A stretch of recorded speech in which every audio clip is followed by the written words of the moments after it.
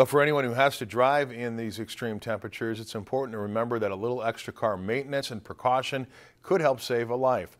Most cars are not designed to operate in the extremes we're seeing this week, so if you have to make a trip, it's important to make sure you have a full cold weather kit in your car.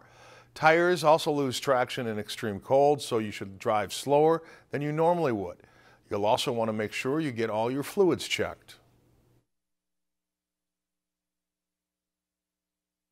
Need to make sure you keep your gas tank full.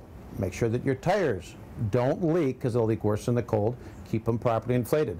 Oil is very critical to have the proper weight oil and have it changed on a regular basis so your car will crank properly. And beyond that, it's just plain maintenance. You know, if your manufacturer recommends spark plugs, um, if they recommend other services, make sure you get them done because those make a huge difference when we get into the extreme temperatures.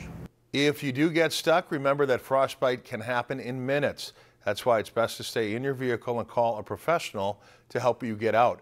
Unless you absolutely have to be outside, it's safest to avoid the roads altogether if possible.